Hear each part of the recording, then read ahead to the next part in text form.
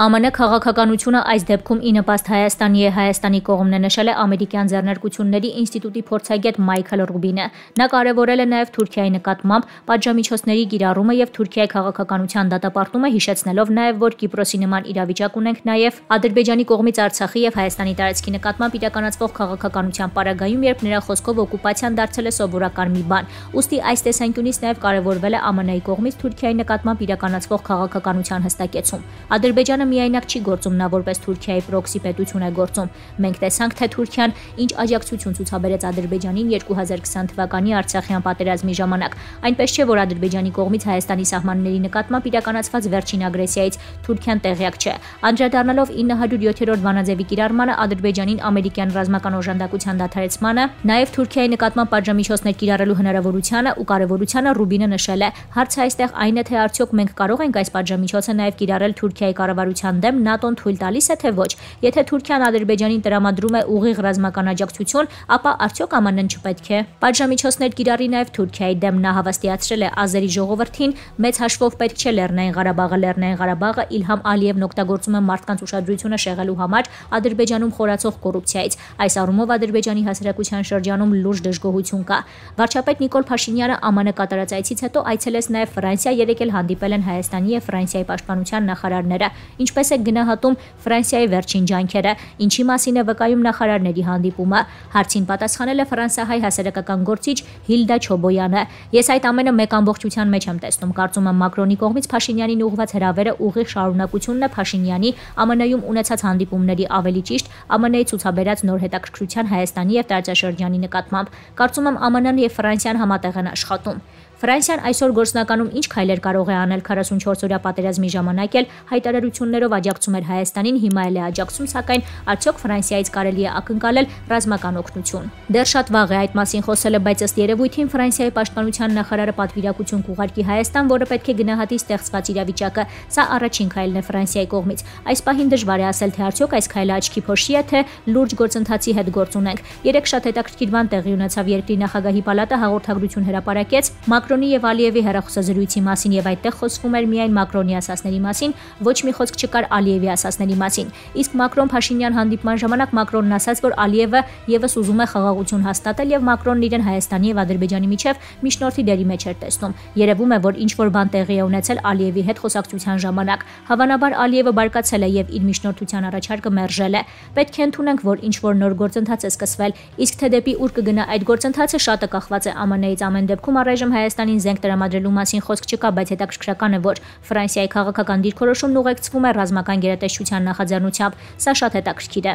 ԵԱՀԿ Մինսկի խմբի համանախագահության ձևաչափին վերադառնալու ինչ շանսեր կան։ Կարծում եմ, որ Մինսկի խմբի ձևաչափը կարող է նորից գործել, որովհետև ԱՄՆ-ն իսկապես չի ուզում բաց թողնել տարածաշրջանը։ Ֆրանսիան նույնպես ցանկանում է, որ Մինսկի խումբը գործի, որովհետև Ֆրանսիայի ներկայությունը տարածաշրջանում արտահայտված է միայն այդ խմբի գործունեությամբ։ Բայց եթե այնպես պատահի, որ Ռուսաստանի դերակատարությամբ Հայաստանի եւ Ադրբեջանի միջև նոր խաղաղության գործընթաց սկսվի եւ դրա հովանավորները Ֆրանսիան եւ ԱՄՆ-ն դառնան, այդ պարագայում Մինսկի խումբը երկրորդ պլան կմղվի։ Եթե այս նոր գործընթացը հաջողվի եւ ԱՄՆ-ն կարողանա թե Թուրքիայի միջոցով թե ուղակի Ադրբեջանի վրա ազդել, կարծում եմ Մինսկի խումբը երկրորդական կհամարվի։ Առայժմ խնդիրն այն է, որ Փաշինյանի ելույթներից շատ հստակ է, որ նա պատրաստվում է այս կամ այն ձևով, եթե Ադրբեջանն իր հարձակումները մեղմացնի, դադարեցնի, ճանաչել Ադրբեջանի տարածքային ամբողջականությունը եւ Արցախը թողնել Ադրբեջանի կազմում։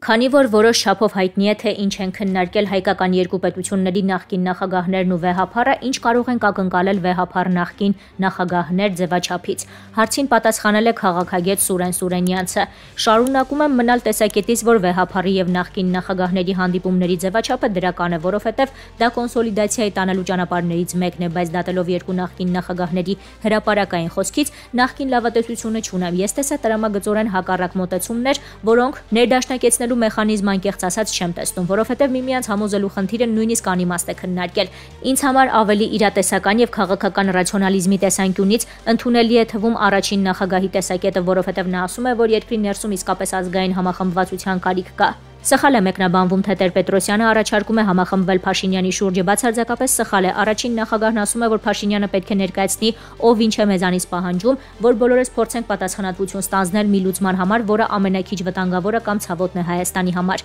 Ես բազմիցս եմ ասել, որ այս պարագայում մենք այլ ընտրանք չունենք եւ պետք է գնանք խաղաղության Ադրբեջանի հետ, որովհետեւ միակ ձևն է դա, որ այս պահին կարողանանք պատերազմի ռիսկը չեզոքացնել եւ մեր պետությունը հերրու պահել կոլապսից։ Սա ռացիոնալ ճանապարհ եմ համարում, իսկ Քոչարյանի տարբերակը, եթե շատ շատ կարճ ձևակերպեմ, նա մերժում է խաղաղության պայմանագրի գաղափարը, միևնույն ժամանակ ասում է, որ մեր պաշտպանական կարողությունները չեն բավարարում եւ դաշնակիցներ չկան այս պահին նշանակում է դու դուր ես բացում Ալեքսանդրապոլ 2-ի համար, որը շատ վտանգավոր կարող է լինել, եթե Քոչարյանը իր ներքաղաքական օրակարգն է կարևորում թեկուզ Ալեքսանդրապոլ 2-ի գնով, ես նման անպատասխանատու քաղաքական գծի տակ երբեք չեմ ստորագրի։ Ես էլ եմ քննադատաբար մոտենում Նիկոլ Փաշինյանի իշխանությանը, բայց ամեն գնով իշխանություն փոխելու այդ մարմաճը համարում եմ խիստ վտանգավոր։ Արկա հակասությունների պարագայում ինչ ներ ներքին եւ արտաքին զարգացումներ են սպասելի։ Եթե մենք ներքաղաքական լայն համախմբում չապահովենք, ապա Ադրբեջանի ագրեսիվ ախորժակը ավելի է բացվելու, որովհետեւ նա գիտի, որ Ռուսաստանն Ուկրաինայի պատճառով չի կարողանալու զսպել իրեն։ ԱՄՆ-ն եւ Ֆրանսիան այո շատ կարեւոր եւ հասցեական հայտարարություններ են անում մեզ համար,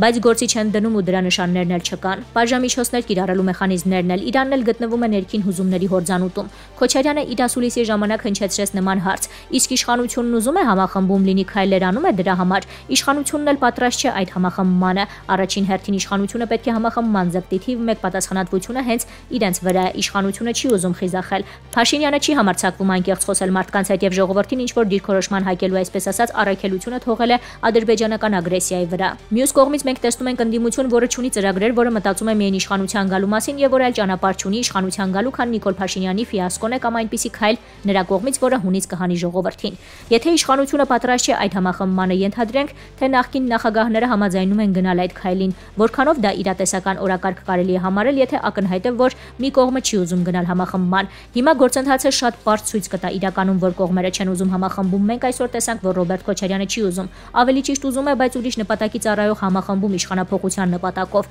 բայց դա արդեն համախմբում չի լինում։ Խնդիրը տեղափոխվում է ներքաղաքական հարթություն։ Ձեր դիտարկմամբ թե առաջին, թե երկրորդ նախագահների առաջարկած համախմբումը իրականություն կդառնա, ցավոք սրտի ոչ առաջին նախագահի առաջարկած համախումբը իրականություն իրականություն չի դառնա, որովհետև ռացիոնալ մտածողության դեֆիցիտ կա, իսկ երկրորդ նախագահը ոչ, որովհետև առաջին պլան է բերում ներքաղաքական դիսկուրսը, հետ մղելով անվտանգային խնդիրները, իսկ հասարակության մեծ մասը այսօր անվտանգային խնդիրների շուրջ համախմբվելու անհրաժեշտություն է տեսնում։ Այդ դեպքում ինչ ելք կարող է լինել։ Ես առայժմ կսպասեմ վեհափարի եւ նախագահների երկրորդ հանդիպմանը, որի հույսն ունեմ, եթե առաջիկա 5-10 օրում այս տխուր վիճակը չփոխվի, յուրաքանչյուրը ստիպված պետք է ելքեր առաջարկենք։ Ես ելքի իմ տարբերակը կփորձեմ առաջարկել։ Ունեմ պլան B-ի իմ տեսլականը, բայց եթե հիմա դա հրաապարակայնացնեմ օբյեկտիվ ակտիվորեն մեղադրվելու եմ ինչ որ գործընթացներ վիժեցնելու համար։